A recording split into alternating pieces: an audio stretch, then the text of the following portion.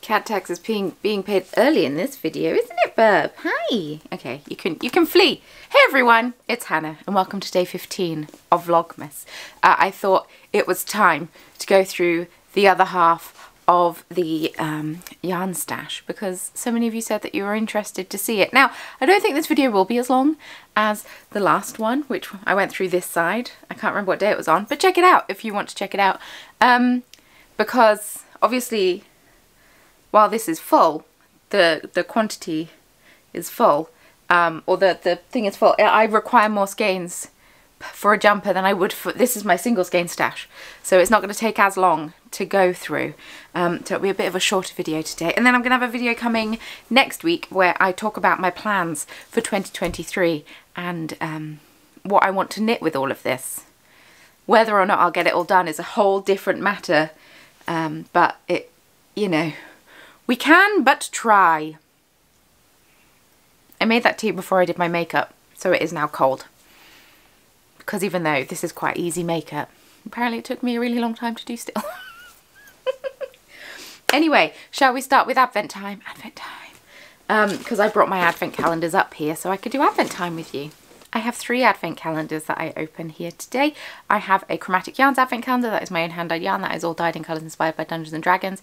I have a Cast Yarns advent calendar, which is a lovely mermaid fade through mermaidy colours. And then I also have a uh, Bird and Blend advent calendar that they were so kind to send to me and I am an affiliate with them.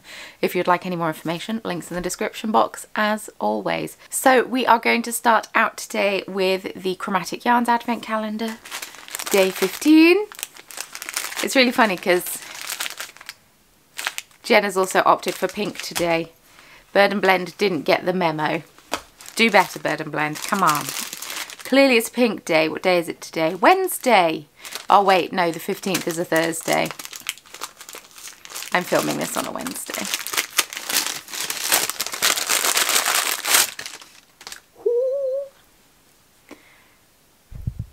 This colorway is called Zikran, Z Zikran, Zikran, Zikran. I don't know how it's pronounced, but uh, that's the thing with fantasy things. I guess it doesn't matter. But I'm pretty sure he's a monster of some form or just like a not very nice person. I can't fully remember. Um, but we've got like blues and a bit of turquoise and some um, brown. Do we have charcoal? I feel like I used charcoal. Yeah, there's a little bit in there, not too, too much. And yeah, I think fades very nicely from yesterday's Primal Fruit. Um, yes, I like that one. I like it a lot. Next up we have Castleview Yarns. Oh, oh, this is a very pretty colour. This colourway is called Harmony Sunshine Splash and one thing Jen is very good at is speckles. Um, she's the queen of speckles, so I love it.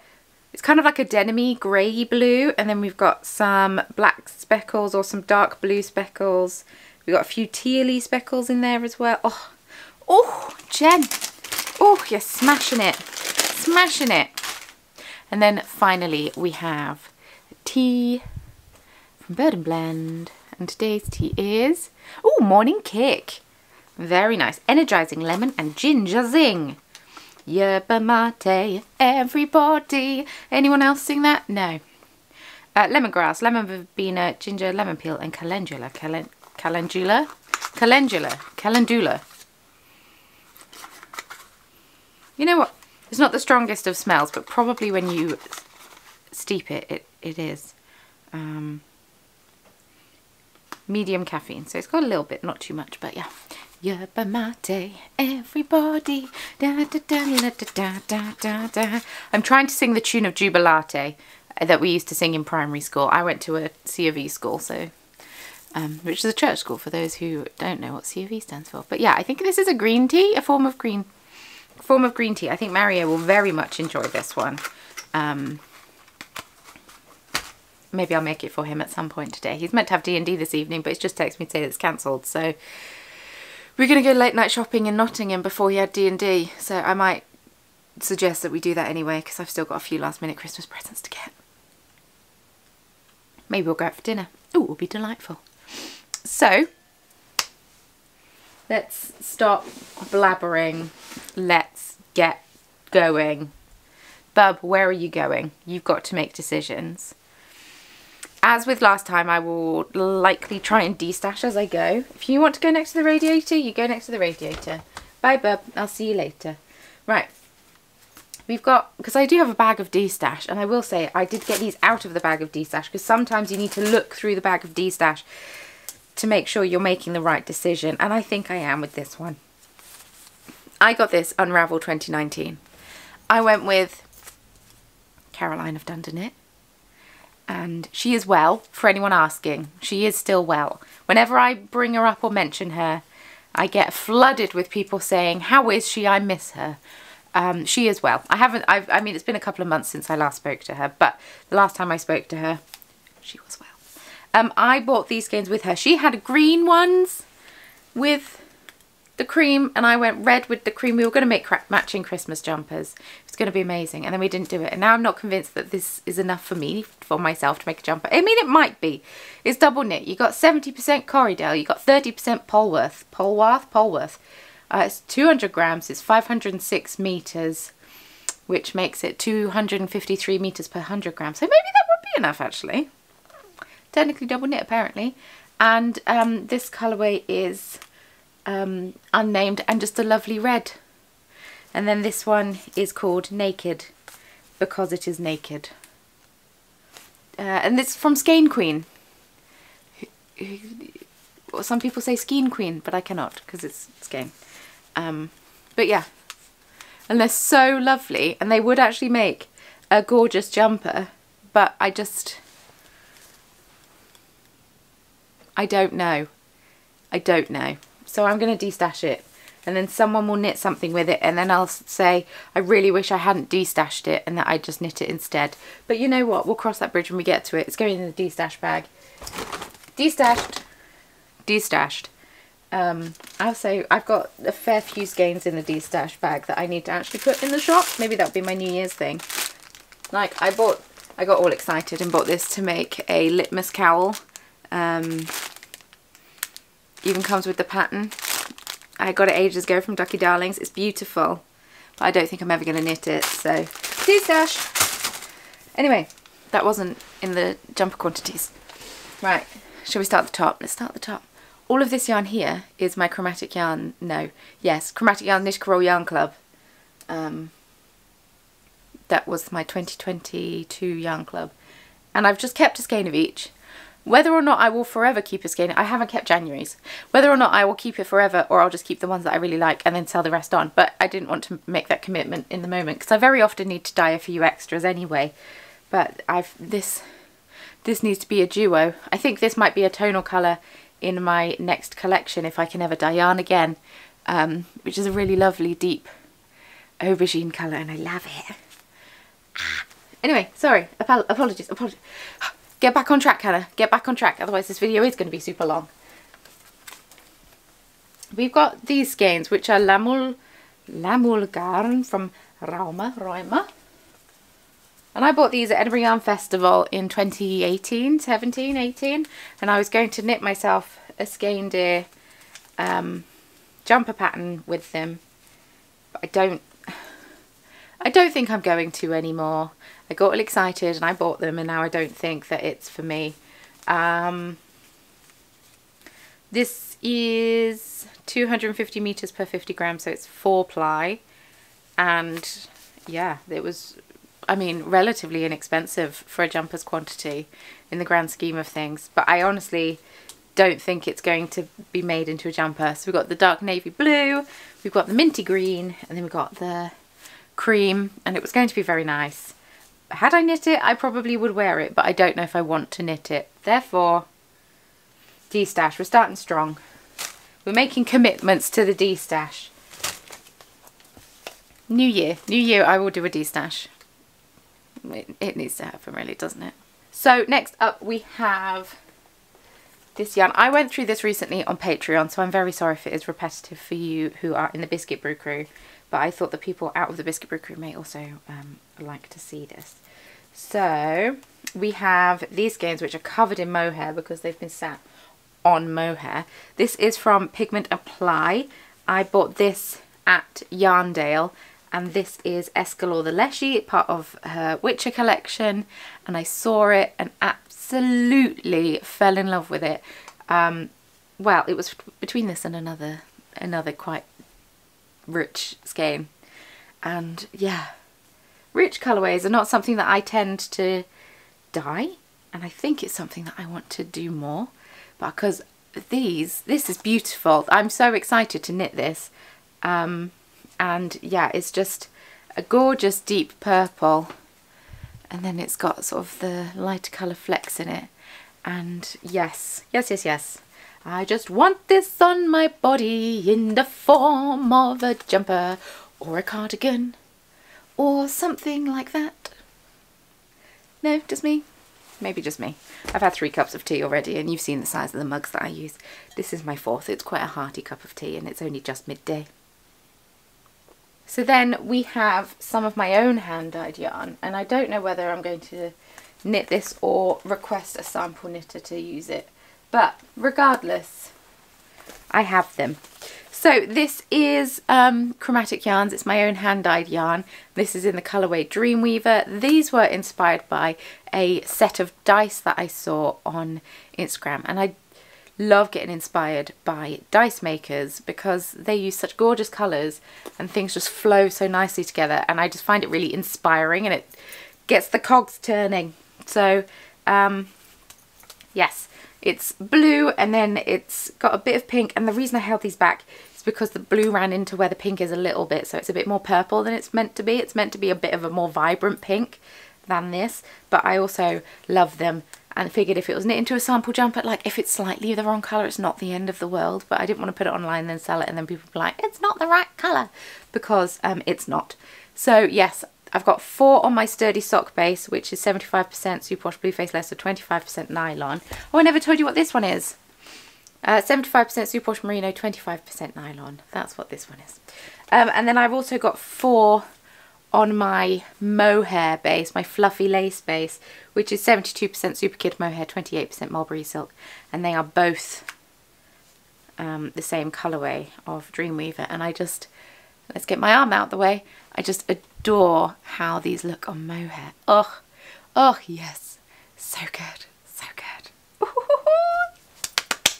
I love it. I love it. Next up, we have, oh, choices. We've got these colorways. Let's go this way. Over to Norway. We are seeing Selena of Through the Wardrobe Yarn Co. Dreamy of Candy Unicorns was a colourway that she dyed ages ago and I think it's out of rotation now because um, she dyed it so much. She's just like, I need a break from this colourway. I was like, you know what? Valid. I get that to that point too. Oh my goodness, that did not work in my favour. And this is on her 100% superwash merino wool. It's a superwash merino base and it's 400 metres per 100 grams, making it four ply. Uh, which is a weight of yarn, doesn't necessarily have anything to do with the ply. Welcome to the UK, things don't make sense. Sock weight, I can't say fingering weight, it feels rude, it feels wrong, that's not what we call it here. Um, but yeah, through the wardrobe yarn co and it's got these beautiful pastel um, pinks and blues and a bit of purple and there might be yellow in there and it's kind of gone a bit green and it's just stunning. And bub you're not stuck. Just come out the other way. I promise I won't grab you. She won't. She's going to go the noisiest route possible. But yes absolutely stunning. So then when she was doing her like final pre-order of the things like well I kind of need to pre-order some mohair then don't I yeah I was just going to use um, my Zone of Truth colourway, which is an undyed yarn. I was just going to use that, but then this is so pretty. I was like, fine, fine, I'll succumb, I'll succumb. And I bought the same base on mohair and my camera's not picking up the colours. Um, it does look quite different on mohair to on merino. It's gone a bit more purple than the merino is, but also think it's going to complement it really beautifully when I knit them together into something stunning. So hopefully, hopefully I have enough to knit myself a jumper. Fingers crossed. I do tend to be able to get away with three skeins, in all fairness, which is I feel quite fortunate about because it does make a four-ply jumper be that little bit more affordable for me. Um, yeah. Next up we have this one. So this is yarn that I bought on my honeymoon. I mentioned in the other video that I'd bought some yarn and I bought this one as well. Um, Canadian dyer, absolutely beautiful yarn. This is called Corrosion and I just adore this one. Let's get the focus not on my face. I just adore this one so much. It's Riverside Studio Superwash Merino nylon sock. It's a three ply yarn, 80-20 Superwash Merino nylon. And then um, it's quite a chunky four ply, 420 yards per four ounces. So 113 grams is 384 meters. So I think it's like the 360 meters per 100 grams kind of four ply. So it's a bit of a chunkier and I've just said it's a three ply. Like I say, the term four ply is to do with the thickness of the yarn. It has nothing to do with the amount of plies in it. I don't understand why it's a thing. It's a thing. I don't know why. But yeah, beautiful, beautiful, beautiful, beautiful.